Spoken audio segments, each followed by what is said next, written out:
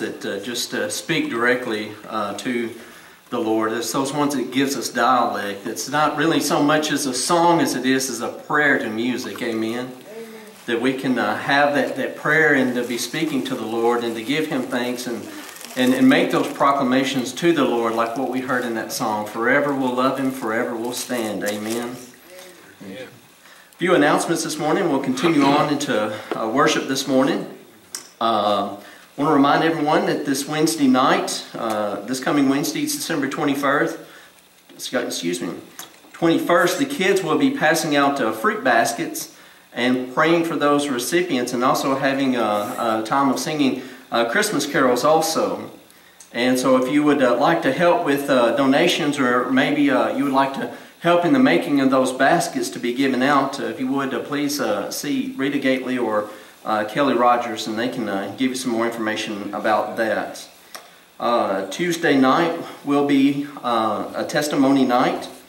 as usual, the snacks are going to start at 6 o'clock, and the meeting is going to be at 6.30. we have the joy of Scott Hefner being here to share his testimony with us on Tuesday night. So I uh, encourage you if you can all come and to, hear his testimony and to uh, support and encourage him.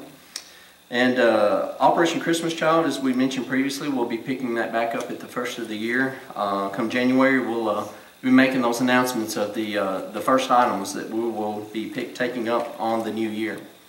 I do want to continue to throw the pitch out there for our Connect cards that we've got. Uh, I do ask that if you would to fill those out for us. Um, one thing I do want to point out, we're noticed that a few folks have kind of gotten in the habit of uh, filling them out as soon as they come in and immediately throw them in the box.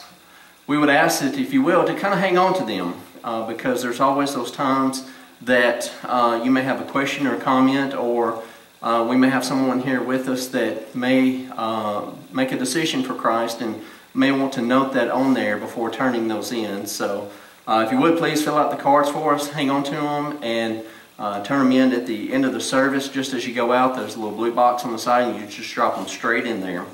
Uh, if you can do that for us, it would greatly appreciate us. It will help us to um, better keep uh, track of, of who's here, not just for tracking purposes. It helps us to better minister to all of you. Um, you know, if there's circumstances that arise or if there's needs that you may have, that we can keep noted in there. All right, I think that's all the announcements we have. So let's uh, go, Lord, in prayer, and we'll uh, continue on into our worship service this morning. Great Heavenly Father, Lord, we praise you, Father. Lord, for being in your house once again, Father. Lord, you have granted us the grace uh, to have the strength and the health and the ability to be here today, Father. Lord, we know that all who are here, Father, is divine, divinely appointed by you, Father. Lord, what a blessing it is to, uh, to be here, to Lord, to, to just corporately worship you and to receive your word. And Father, I just pray as we do so, your Spirit would work amongst us, Father. Lord, and bring us to a place, Father, where we are prepared to be ministered unto you, Father. Lord, may the, the, the power and the strength and the anointing of your word, Father, Lord, um, bring about change in us, Father. Lord, I ask that your word would encourage us and build us up in wisdom and strength, Father, Lord, embolden us, Father, Lord, to faithfully live for you in this world, Father. Lord, I just give you um, uh, thanksgiving, Father. I give you praise for what you're going to do in this place, Father. Lord, as we praise you and worship you through song, as we praise and worship you through the receiving of your word, may everything that be done in this place today, Father, all be done for your honor, for your glory, and your praise. It's in the name of Jesus that we pray. Amen. Stand with me and let's continue to worship.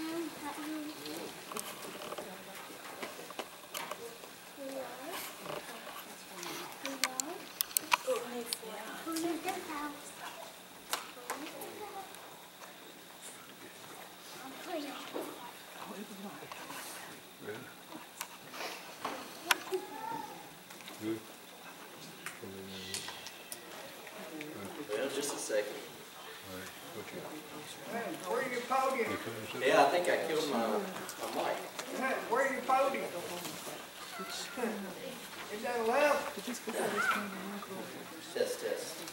We'll try, uh, oh, there we go. We'll try this one for now. So, every time I go to reach that on button, I pop that little compartment, and it makes the batteries come loose, and it didn't come back on for some reason. But that's okay. Mic or no mic, word will go forth, amen. That's it, more. If I could have the uh, children to come forward, please.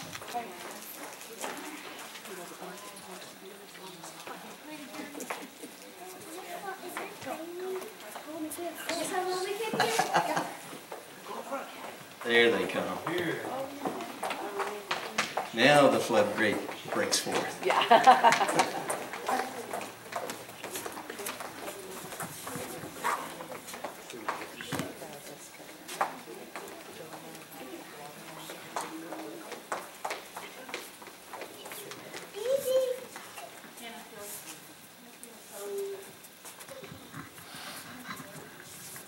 It sounds like Hannah had something she wanted to share with the church this morning, so. Here you go, dear. We just thank you that you were praying, praying for me this morning, and we just appreciate it. And this and this morning, by the day or two, I started waking up like feeling a lot more better than I usually do.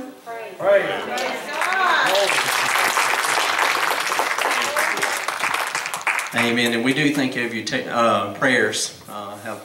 Uh, uh, testimony to share with you in regards to that uh, a little bit, Lord, uh, after the message for this morning. Amen. So we thank the Lord for all these precious ones that we have here uh, with us today. And uh, we'll take this time as we always do. Thank the Lord for them and uh, thank Him for uh, the blessings and the, the, the ministering of His word to them. So if you will, uh, please join with me. Let's go, Lord, prayer. Uh, ask His blessings over them and our tithes and offerings. Great Heavenly Father, Lord, we praise you and we thank you for these wonderful and lovely children that we have here, Father. Lord, we thank you for what you're going to accomplish in them, Father, as the, the, the, the power of your word is spoken unto them. Lord, I pray that you anoint the teachers, anoint the children, Father. Lord, for your word to be spoken and for your word to be heard today. Lord, personalize that message for each one of them as only you can, Father. Touch them in such a special way, Father, Lord, that they may see your exceeding great love for them, Father that their love may exceedingly grow towards you, Father. Lord, that that love would grow in faith and trust and obedience unto you uh, all the days of their life. Father, we ask your blessings over our tithes and offerings. Lord, we commit this day to give to you as an act of worship, praising you and thanking you for being sovereign over us, Lord, and lovingly providing for all of our needs, Father. Lord, may our joy and thanksgiving in, in um, uh, uh, our tithes and offerings be pleasing to you.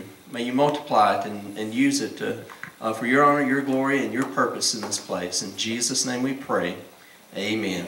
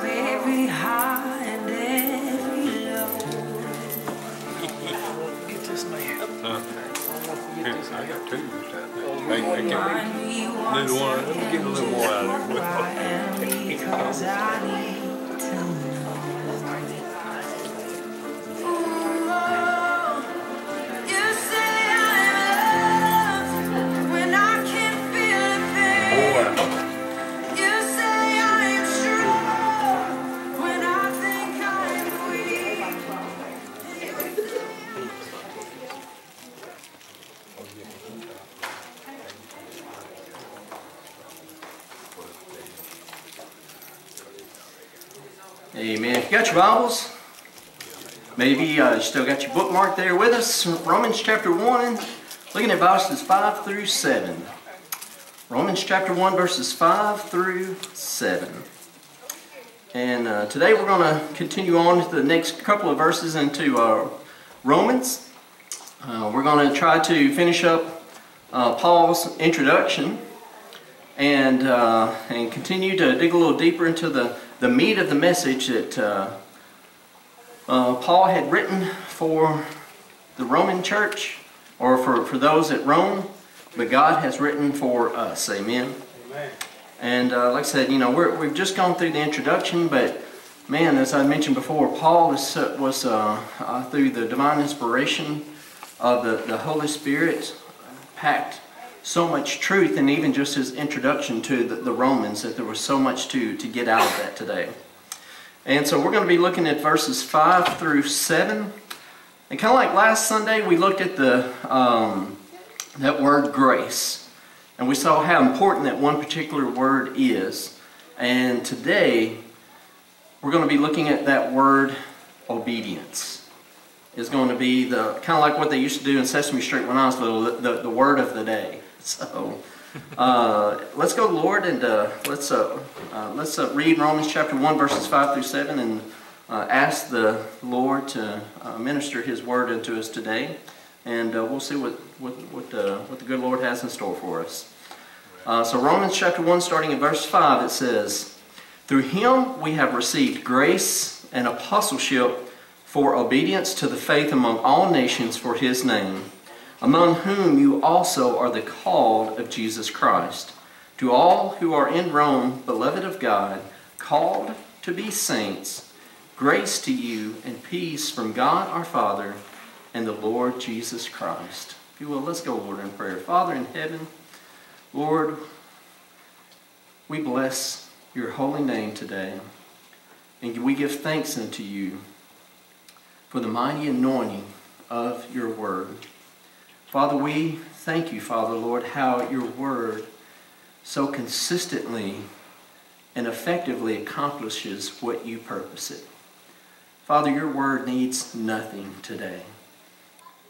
Before, Father, me as a speaker need everything. Lord, for my words aren't graceful. And Lord, my deliverance, Father, is not of the highest quality. And Father, even of ourselves, Father, our understanding, Father, is so limited apart from you. But Father, in my weaknesses, in our weaknesses, you are made strong. And Father, I pray, Lord, that the strength of your word be magnified through this weak vessel today, Father, to speak your word. Lord, may your word be magnified unto all of us, Father. Lord, may the power of your Spirit, Father, personalize this message, Father. Lord, that you would bring understanding, Father, Lord, that you would bring edification, Father, Lord, that you would bring conviction if it so needs, Father, to accomplish your good and perfect purposes that your word always does fulfill when it goes out. And we thank you for that in Jesus' name. Amen. So as we look into these few verses here, uh, what, one of the things that I want to just go ahead and speak out from the forefront that we see here is that uh, there's kind of two parts that uh, that are that I pray are projected out uh, in uh, the message of these two scriptures today. Is one how there is a calling that those who that we at one point, if you're believers in Jesus Christ, if you're born again believers here today, that there was a time where there was a calling upon your life. And there was an answering to that call, that call of Christ. But after that call came, and salvation came as a result of that call and that answering of that call, there was a command that was given. And that there was uh, and obedience to that faithful answering of that call of Christ that comes along with that. So, a couple of things that I pray that we would see today is how there is that calling upon our life, that calling unto salvation, but when there is that calling, that answering of that call unto us uh, that, uh, that comes through faith, that that faith leads to an obedience to the gospel of Jesus Christ. So, as we've done in the past, uh, let's just kind of take this and break these a few of these important uh, words that we see in these verses down to kind of look for a, a little bit of better context and understanding of what Paul is uh, speaking here, in essence, what God is speaking to us today. So last week we saw that first part of verse 5 through him we have received grace. And we spoke of that word grace. But the next word that we see after that we'll start looking at this morning is that word apostleship. Now, this apostleship comes through Jesus Christ. And I wanted to kind of clarify a little bit of misunderstanding about this word apostleship. Because you may even hear this day in uh, some churches and some denominations that they call people apostles. Apostle John, Apostle, you know, Paul, who, whoever it may be. We hear that word uh, spoken of today as people refer to as apostles today. Now, if you know a little bit about uh, uh, uh, church history, know a little bit about church theology, theology, um, and there may be some controversies that rise up around this word. So I wanted to clarify what this word means and how what and, to kind of apply that to um, the times that we live in today. So when we see that word apostle, there's a couple of different meanings that we see here. We know that we see in the Bible that it speaks of the, the, the gift of an apostle. But it also speaks of an office of apostle. And that word apostle is, is essentially one that is sent or as an authorized delegate. Or it is one who carried the gospel with God's authority. One, a person who has, who has been given God's message to go and to deliver. But there is also, in essence, this position or this office of an apostle. And what this is, is it was an official leader in the early church. So essentially, the, the 12 disciples were apostles. And we see all throughout God's Word, I won't mention them in detail uh, for the sake of the message today, but I can share with you scriptures that, that confirms these particular concepts when it comes to a person holding the office or the persons of an, or, or the position of an apostle. A few of the things that we note in Scripture in regards to a apostle is this. That an apostle was an official leader in the early church. That an apostle was one who spoke with the authority of Christ because they had received direct revelations from the Lord. A person who was an apostle is one who saw Christ firsthand directly. A person who is apostle is one who was taught by Christ, is a person who was sent specifically by Christ. Another thing that's identifying of a person who is apostle is one who has performed many signs and wonders. And all of these things were ones were by far were ones who were accomplished. Uh, uh, all of these things were ones that were um, true of the especially the, the 12 disciples who were apostles. But there were even others, specifically Paul, who wrote this letter as being an apostle. Because even he himself had firsthand seen the risen Lord Jesus Christ and received direct revelation, direct instructions from the Lord, and a direct commission from the Lord Himself. Now, one thing that I'll say is this, this particular, uh, when we speak of the position or the office of an apostle, this type of apostle is not present in the church today. The apostles were established to build the foundation of the church. And 2,000 years later, today, that foundation is not still being built. That foundation is built. There's no longer ones that have seen the Lord firsthand.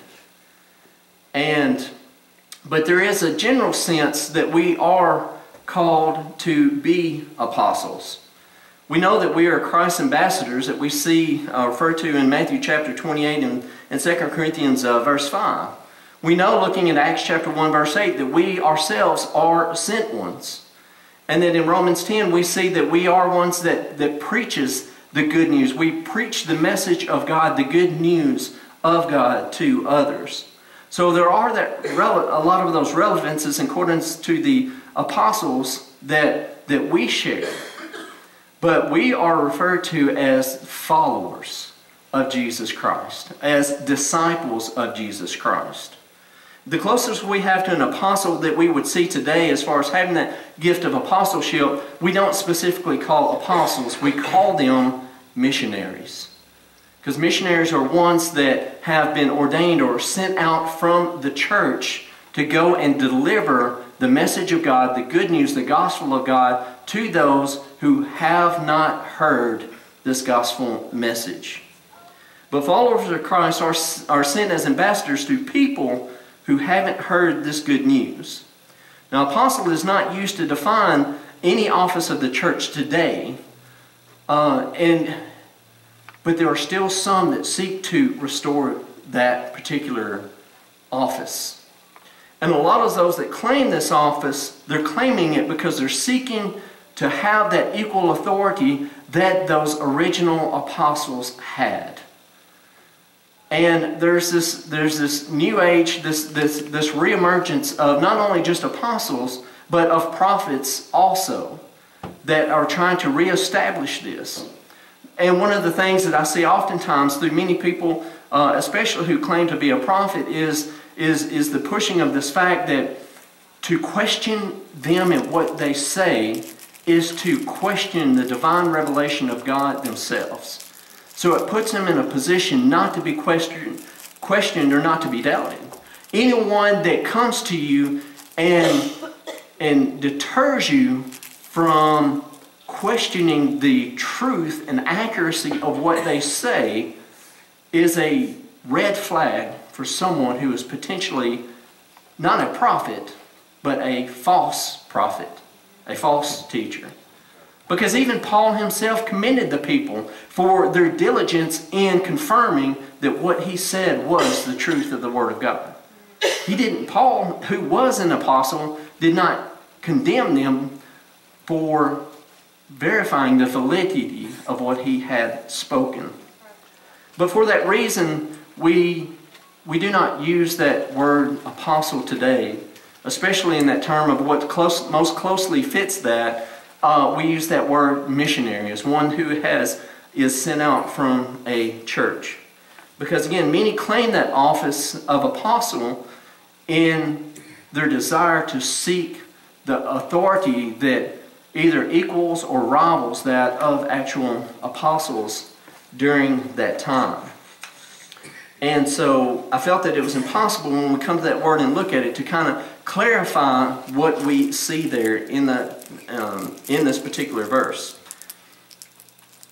The next thing that we see here is what I would speak of is the demand of the gospel.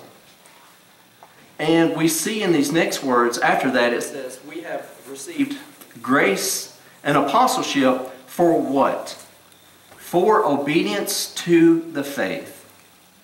And we speak of obedience that is produced by faith. When it says for the obedience to the faith, it is speaking of an obedience that is produced or manufactured out of faith.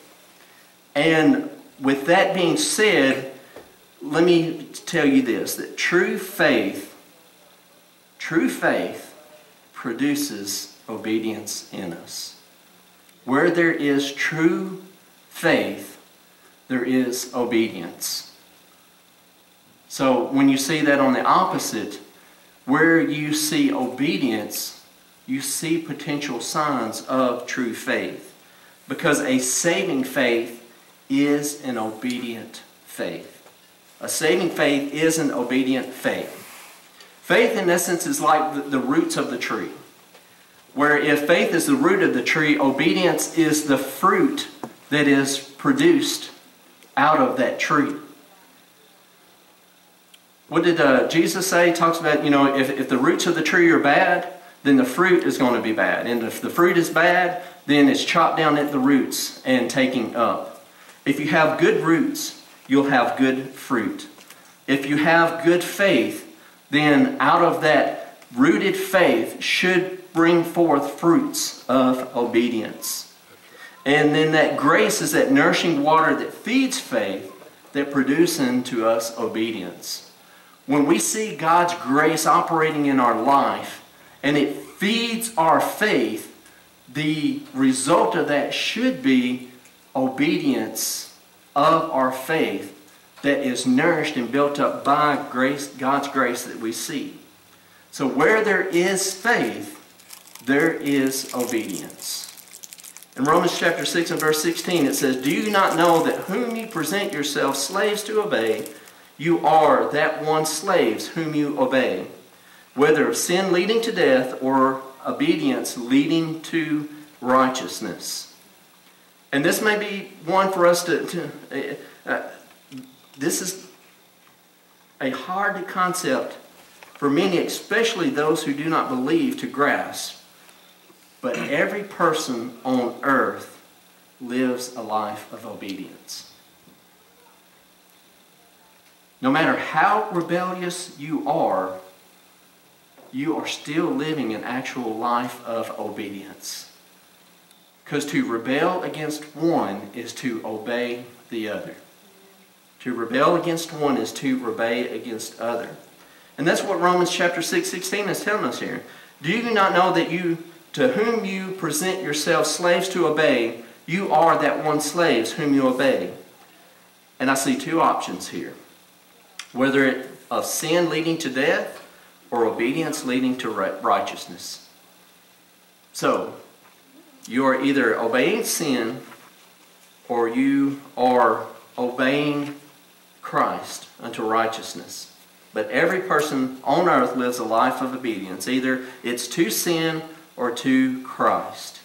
So understanding this, uh, it's a multiple choice 50-50. And the question is this. Who is your master? Who has authority over you to command this type of obedience to you? Is sin your master? Is sin your Lord that you obey?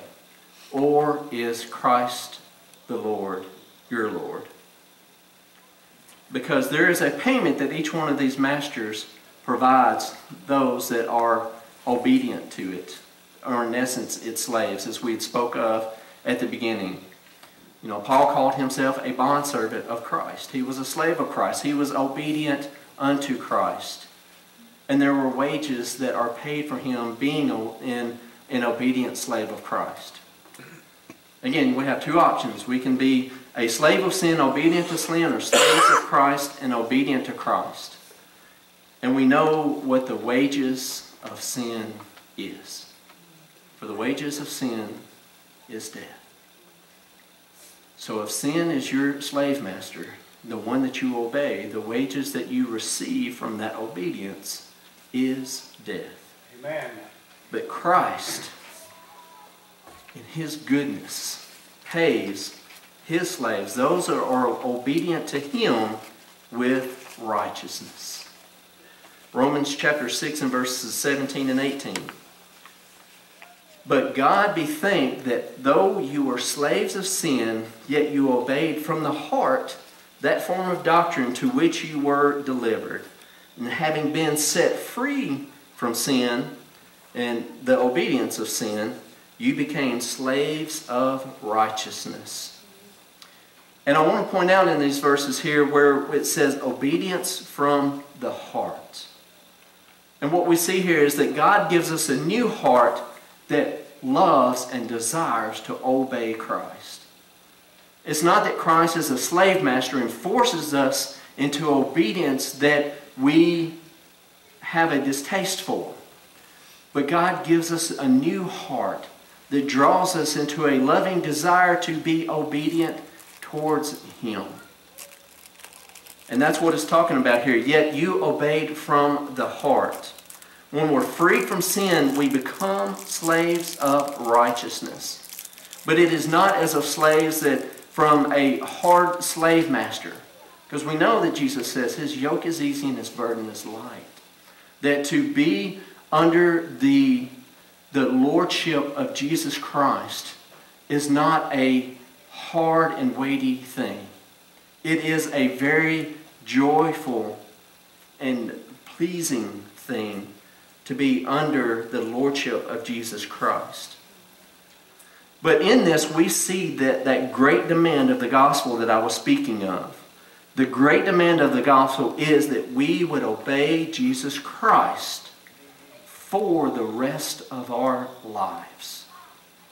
That's what we see when we become followers of Jesus Christ. Because Jesus Christ Himself is the one who reigns over us. Now, that doesn't mean that it's just automatic.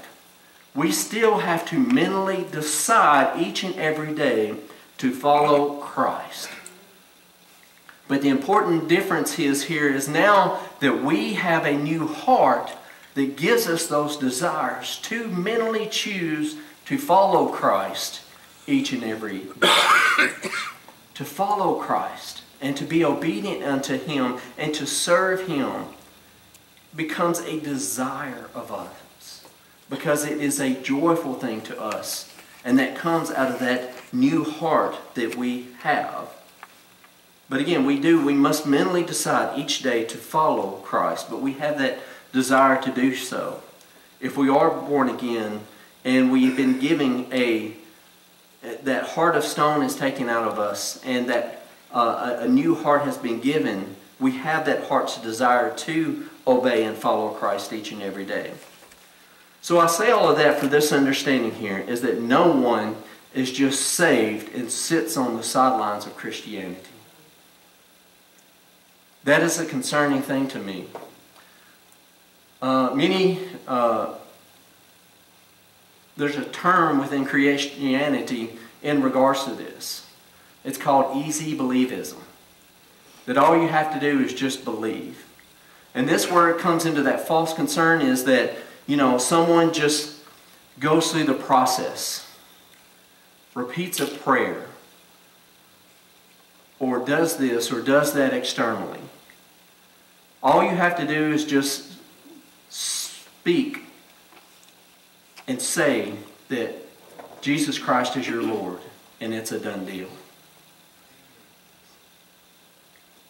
But it's a sad truth, but it's a truth nonetheless, that not everyone who professes Jesus Christ possesses Jesus Christ.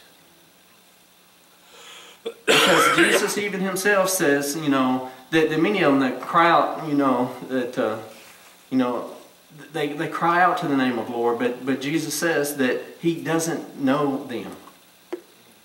One of the key things that we see here is that, again, that, that true faith leads to obedience.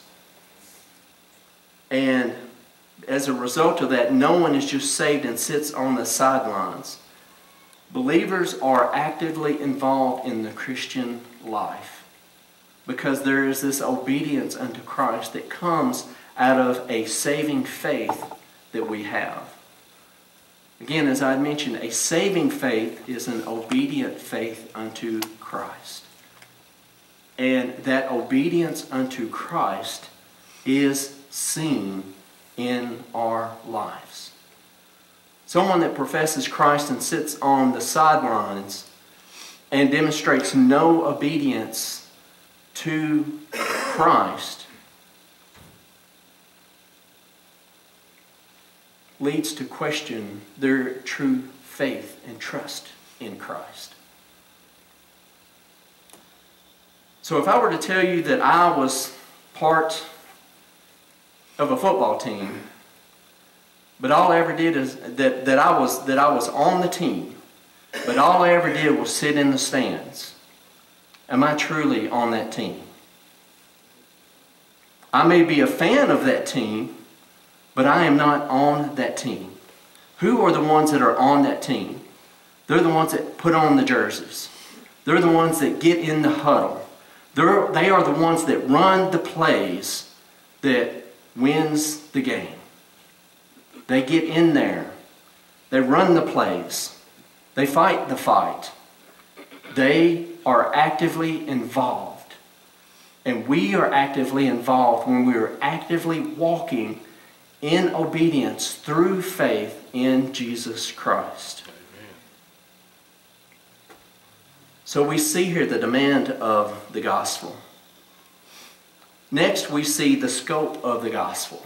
And by that I mean who the gospel is broadcasted to. And we see that clearly in these next uh, few verses. Is it says, um, among, uh, it says, obedience to the faith among all nations. The gospel is for every single person on planet Earth. Whether a person be living in the Americas, be living in Africa, Europe, Australia, even some of the most remote tribes and parts unknown, the gospel of Jesus Christ is for them also. That's the very reason why we send these missionaries I spoke of previously uh, to places all across the globe. The gospel is for all, for every person in the world, including you and I in this place today. Now we come to, we see the demand of the gospel, we see the scope of the gospel. These next few words helps us to see the purpose of the gospel. What is the purpose of the gospel going forth today? We see it in these next few words here. To the faith among the nations for what? Or for who? For his name. Or for his name's sake. What the gospel does is it promotes the name and the honor of Jesus Christ so that Jesus Christ would have preeminence above all things. And that word preeminence is just a big fancy word for first. That God, that Jesus Christ would be first in all things. The gospel promotes the name of Jesus, that he would have this preeminence. The gospel doesn't go out so that to help make the churches bigger. It doesn't go out to help to make the churches have a, a better reputation. But even so far as individual churches, the gospel of God does not go out so that denominations can boast about their size or their accomplishments or what they've done. The sole purpose of the gospel is so that there are more voices in that heavenly chorus praising the Lord and Savior Jesus Christ for what he had done. God's ultimate goal was to ensure that his death upon the cross is praised and honored as much as it should be. And the work of the gospel is to go out and to do the work of making known the greatness of who Jesus Christ is and what Jesus Christ has done. So that those that hear that may see and know, one, their desperate need of redemption from the consequences of sin in their life, and to see that God, through Jesus Christ, His Son, provided that way.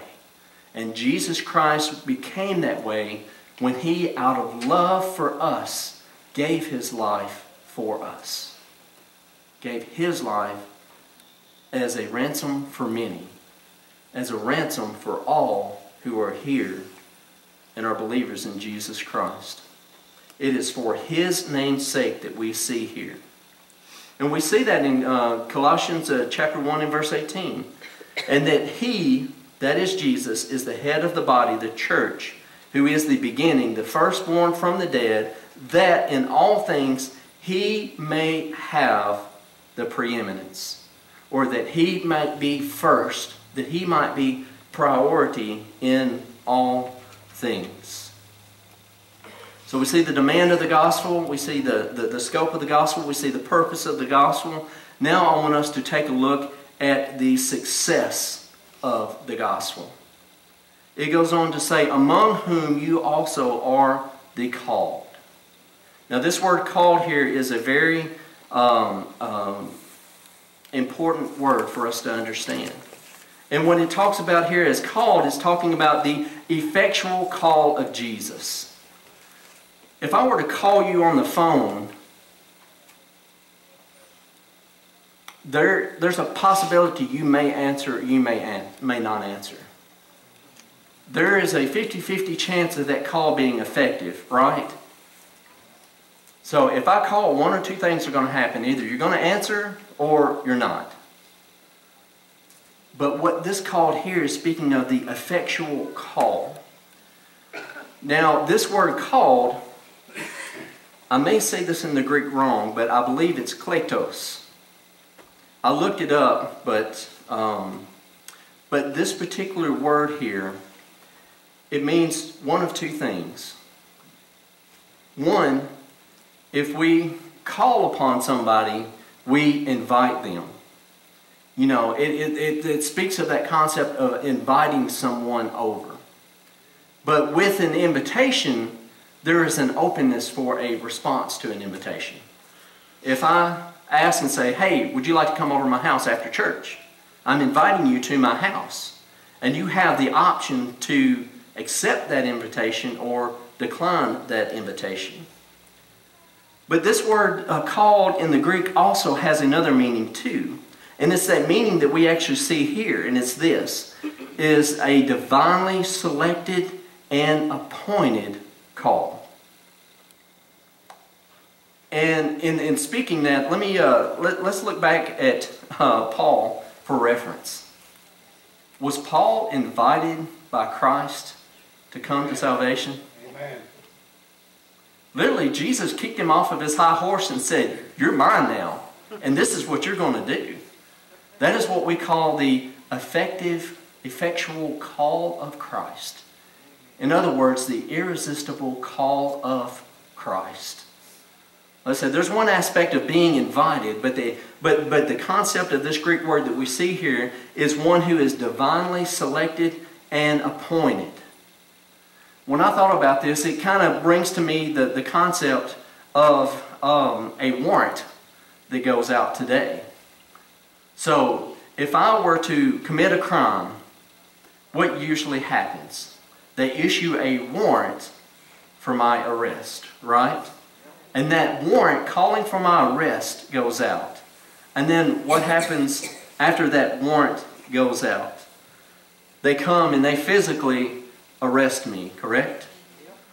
And then after I'm arrested, after I am apprehended, then there is that what we would call incarceration, that, that, that placing in jail. We are put into a place where we cannot get out. We cannot escape. We have no choice but to be held by that warrant that went out for our arrest. And that is what we see through God's drawing of a sinner unto salvation. God calls us. And as we'll see here shortly, there's a couple of means by which that call comes. But when that call comes, that is when that the work of God is being done to draw us unto Him. Now, I had mentioned uh, that there, there's, two, there's two calls that we see in our life. One that we see is that external call to Christ that we have. Now, what do I mean by an external call? It's literally as like me standing here saying that if you do not receive Jesus Christ as your Lord and Savior, the judgment of God weighs upon you. And that judgment is eternal hell and separation for all of eternity. And the only way for the, the penalty and the price of your sin and rebellion against God is through accepting Jesus Christ as your Lord and Savior. That is, in essence, an external call to Christ. It is a call heard from the outside that comes in either through our eyes and what we read or through our ears of what we heard. It's a type of call that would come from parents can, you know, uh, speaking to their children about accepting Jesus Christ. It may be from preachers, it may be teachers, it may be ministers, it may be witnesses out sharing uh, testimonies or sharing the gospel of Jesus Christ. There's that external call to come to Christ. But outside of this external call, there's also an internal call that takes place. And this is that call of God that draws mankind to answer that external call. It is this internal call of God that opens up the eyes and ears and opens up the heart through the offering of a new birth and that granting of repentance and faith. I used to love how our um, uh, Pastor Dwayne often called that. He said that sensation inside is not last night's pizza. that in essence, that is the call of Christ. That is when, when God opens up our understanding. He opens up blind. It's referred to in the Bible as the opening of blinded eyes and the, the softening of hardened hearts. It's where God reveals himself to us. God, it's his revealing of, of who we are and who we and, and, and reveals our desperate need for Jesus Christ as our Lord and Savior. There's that internal call that happens. And that external call that may be made is powerless without that internal call. In order for anyone to be to, to in faith receive Jesus Christ as their Lord and Savior, there has to be that internal call. And oftentimes that internal call is being worked upon so that when that external call, the heart is prepared so that when Jesus says come, the heart is ready to come. But in John chapter 6 and verse 44, we read, No one can come to me unless the Father who sent me draws him. And that is speaking of that calling, that drawing there. And he goes on to say, I will raise him up at the last day. So here's the thing. I could stand up here today and plead with, with you all day long about how desperately you need to accept Jesus Christ as your Lord and Savior. That apart from Jesus Christ, there is no salvation, there is no redemption, there is no hope of you escaping God's wrath and, and judgment and punishment for your sin and rebellion. That is only through Jesus Christ and accepting and receiving Him as your Lord and Savior.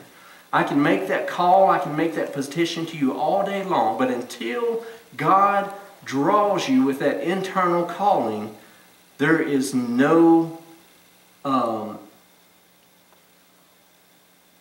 salvation, there is no um, repentance of faith that can be made. And that's what John 6 is telling us there. No one can come to me unless the Father who sent draws me to him. But some think in vain that they can choose the time of their decision. I hear this a lot of times, especially from those who, you know, when we're young, we, we think we're semi-immortal, that we're going to live forever. And that time's on our side, that we've got plenty of time. And I even, even with those that are older, we have uh, this debased thinking that, well, you know, I'm going to go and I'm going to enjoy my life and I'm going to do the things that I want to do. And then when I'm done living, living, living life up the way I want to, then I'll, after all that said and done, then I'll, on my timing, decide from that point on to follow Christ. But it is not of our choosing. It is of God's choosing when He is going to break forth that call in our life to accept Jesus Christ as Lord and Savior. And until that happens, no one can come to Christ. That call, that drawing must be there. And that's one of the most concerning things that I ever seen in the life of a person, is a person who wrestled with this particular thing.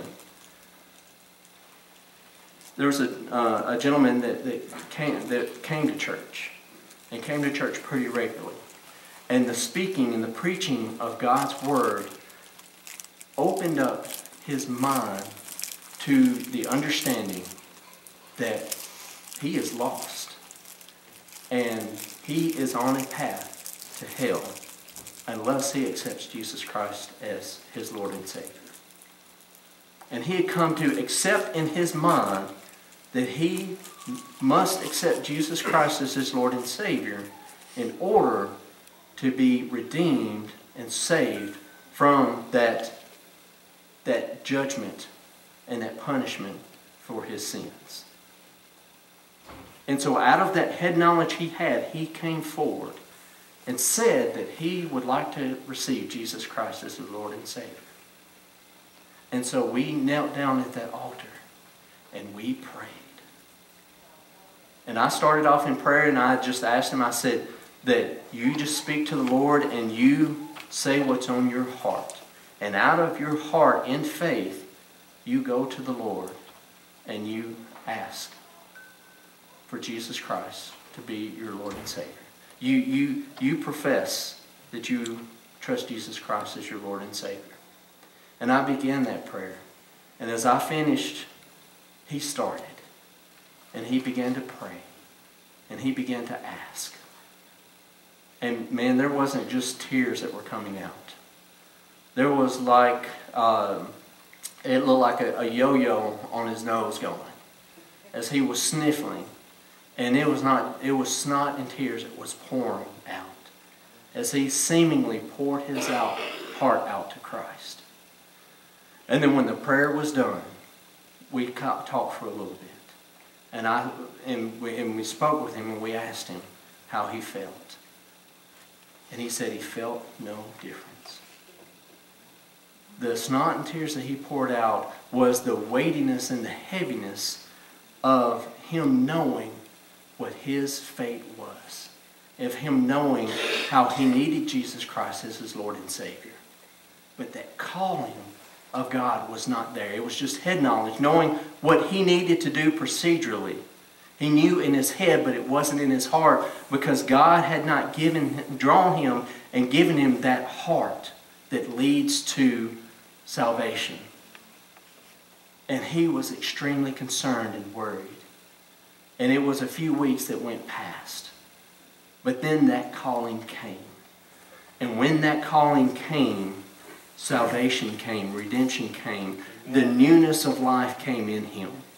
And he was so overjoyed and he was so happy and so expressive and just was so anxious to go out there and to share what God had done for them.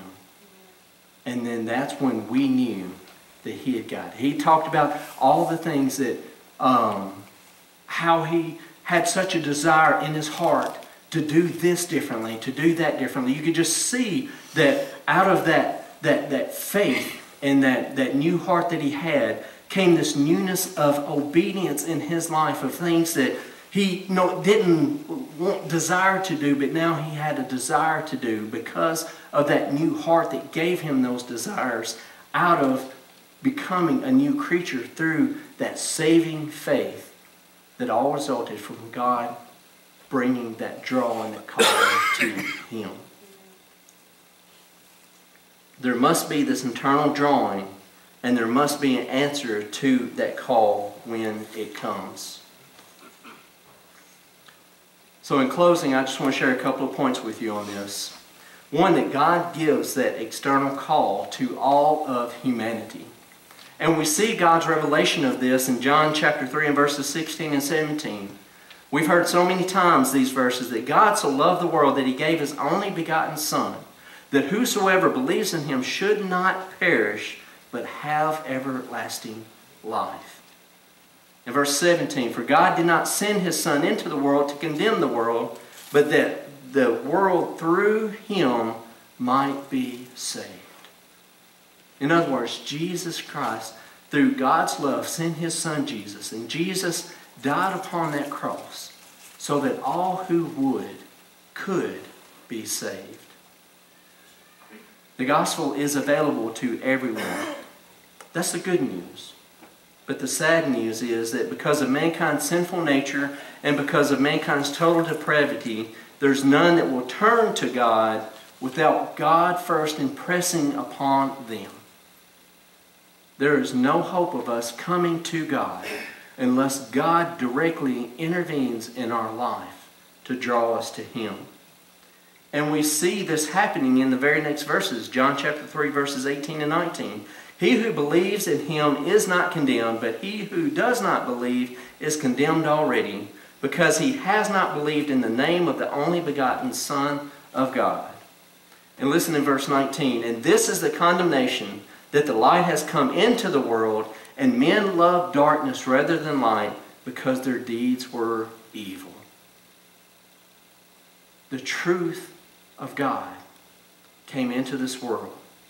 The Word of God, God's Son, came into this world. But men love darkness rather than light because their deeds were evil. But God impresses um, himself upon those that are called by opening these blinded eyes and softening these hardened hearts that we may see and know our need for Jesus Christ as our Lord and Savior. God gives grace to see our desperate need for a Savior. And for those that He gives the grace to see, He draws them to this saving relationship with Jesus Christ. And speaking of Jesus Christ, the last part that we see in those opening verses that we started out with, it says, Among whom you also are the called of Jesus Christ. Jesus Christ is the one doing the calling. Jesus is the one that calls and draws us unto Him. And we kind of see that analogy taking place in John chapter 10 and verses 27 through 29. Is um, in verse 27 My sheep hear my voice, and I know them, and they follow me. And I give them eternal life, and they shall never perish, neither shall anyone snatch them out of my hand. My Father who has given them to me is greater than all, and none is able to snatch them out of my Father's hand. Praise Amen. But in verse 27 there, my sheep hear my voice, and I know them, and they follow me. So in essence, it is as though that we hear that internal call where Jesus speaks to us and says our name. I remember there was that time when I was in eighth grade, sitting in a living room, and I hear Jesus saying, Jason. And he called me.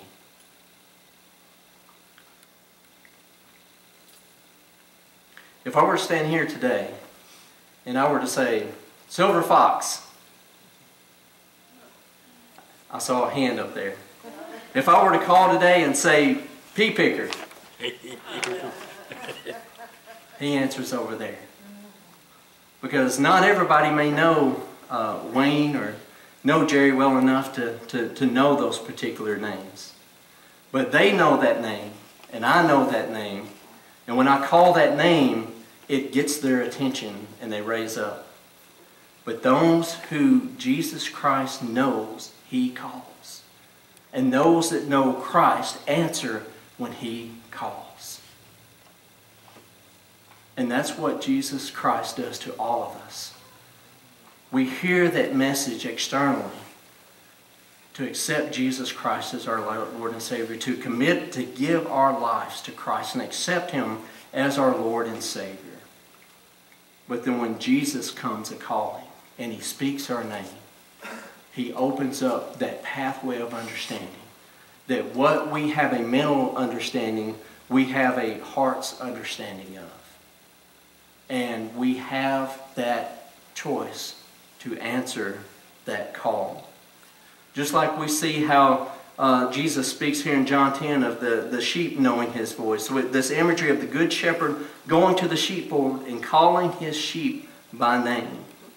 And here's the thing that those are not the shepherds. They keep on grazing.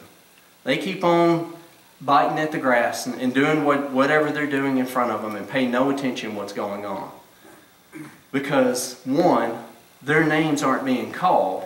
It's not like, hey, this sheep may be called brown nose or this sheep may be called white ears. You know, hey, brown nose or hey, white ears, come on, you know, let's go.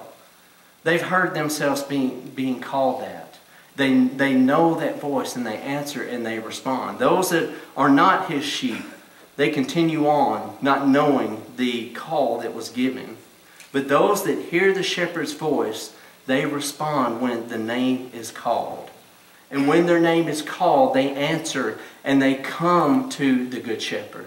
And the Good Shepherd takes them and receives them, takes them out of that place that they're on, and he leads them on to greener pastures. And in essence, that's what God does to us. He comes to us and He calls us and He draws us to Him. And when we answer and we come to Him, He takes us out of this uh, bondage and slavery to sin and sets us free. And He delivers us on into those greener pastures where we follow after Him, where we no longer receive the wages uh, of death for our obedience to sinfulness. But now we receive the wages of Christ's righteousness as we follow Him in faithful obedience. And we carry on to there. They are drawn, those sheep are drawn to the shepherd, and they're led out to those greener pastures. And with that understanding and that knowing, I ask you this question Has Jesus called you by name?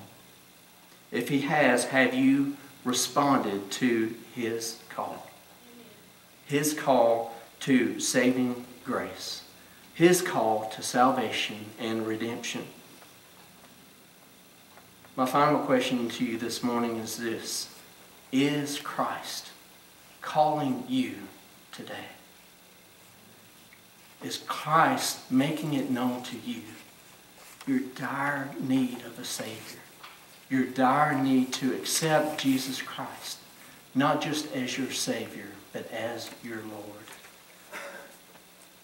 If you would, please stand with me.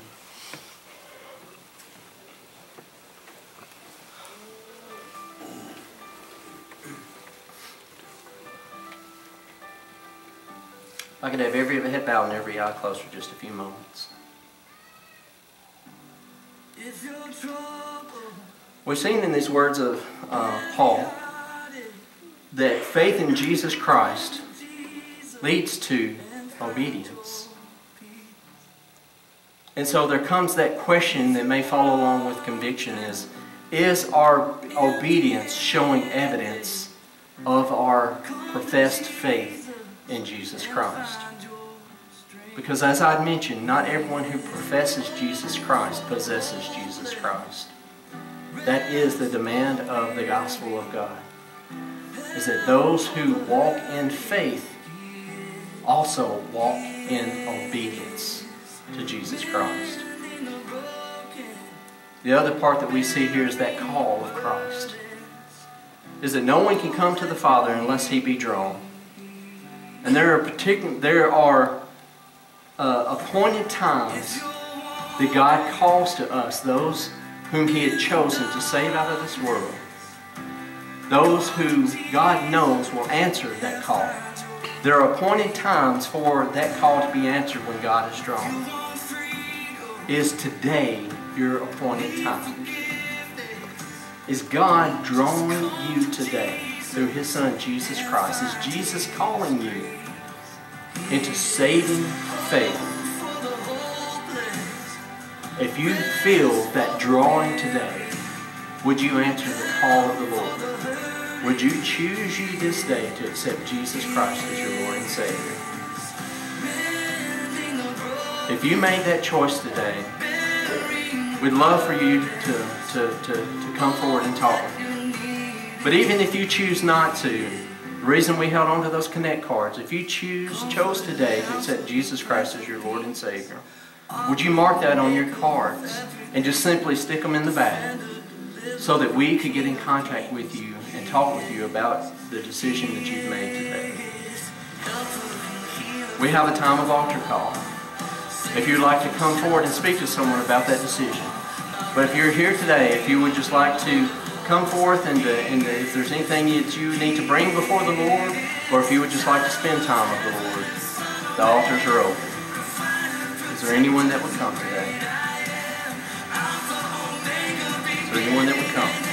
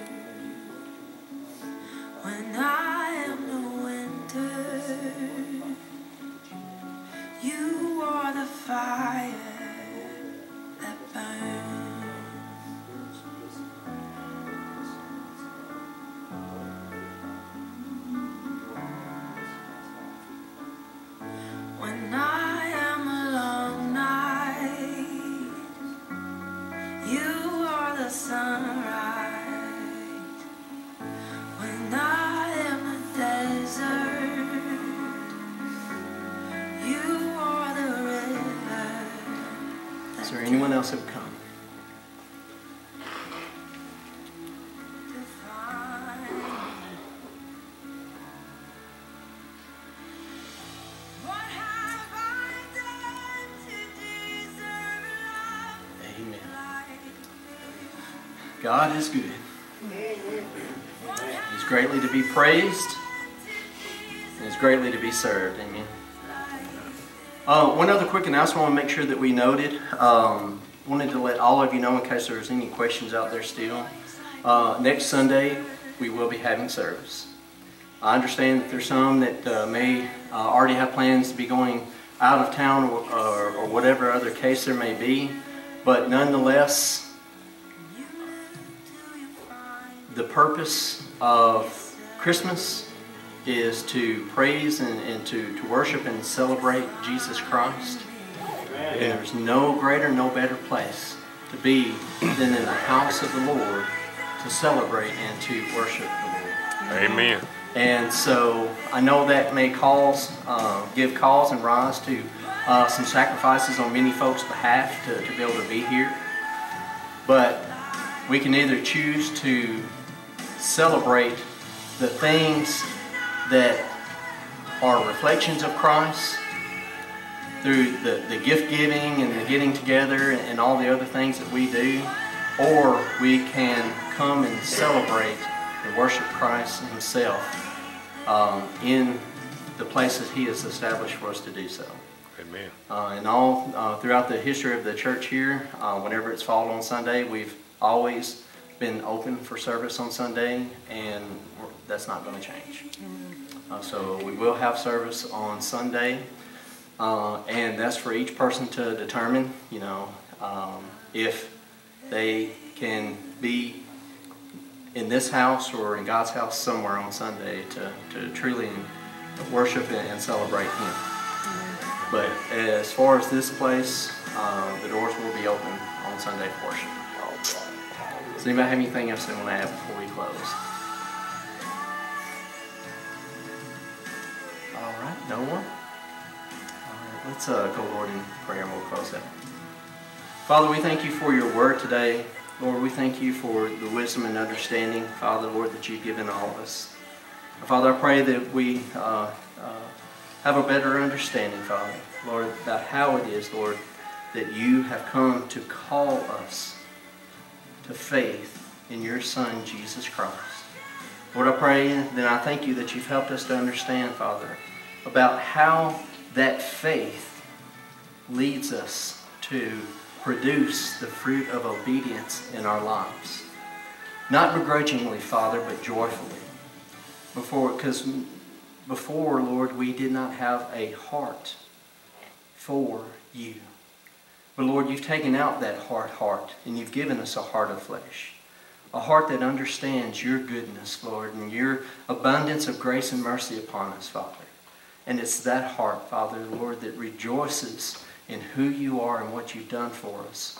And it's that rejoicing heart, Father, that has a desire to follow after you and to serve you and to obey you, Father.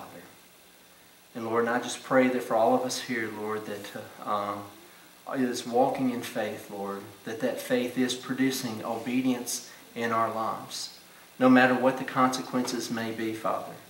Lord, that you are first and you are supreme in all things, Lord. And that each day that we are deciding, Father, to follow you, to walk in obedience to you and your word, Father. Lord, and I just thank you, Father. I, I praise and rejoice you, Father, for, for your great work in our lives. Lord, and I ask that as we go into this week to come, Lord, I pray for strength and I pray for health. Lord, I pray for boldness, Father, to live for you, to be a faithful witness for you. Lord, to share this gospel, this good news with those that are around us, Father. Lord, that those that don't know you, Father, might come to know you. That they would join all of us, Father, in being that heavenly choir that sing praises, honor, and glory to you, Father. That gives you the, the, the honor and the praise that you so rightly deserve for your abounding love for all of us. We just thank you in Jesus' name. Amen.